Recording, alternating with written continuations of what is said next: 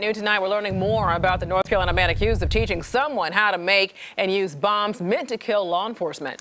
Queen City News anchor Ryan Kruger has been digging into the suspect's past. And Ryan, this investigation, it started two years ago. Yeah, that's right, guys. It all happened when a man who law enforcement calls a militia extremist got into a shootout with police and died. Now, the FBI says inside that man's house, they found bombs along with disturbing training manuals that were allegedly written by a suspect from North Carolina.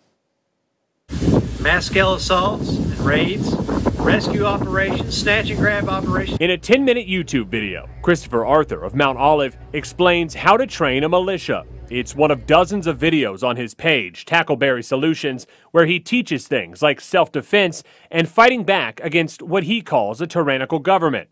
In one video, he openly discusses getting into a shootout with law enforcement. But you're dealing with a bunch of freaking kids now that are working as cops and they don't have a damn clue what war really looks like.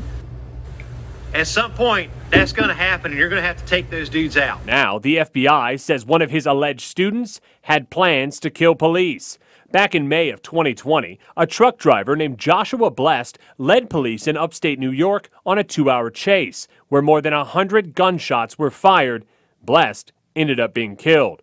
The local sheriff called him a militia extremist. Authorities say they found homemade bombs along with the instruction manuals on how to make them, allegedly written by Christopher Arthur.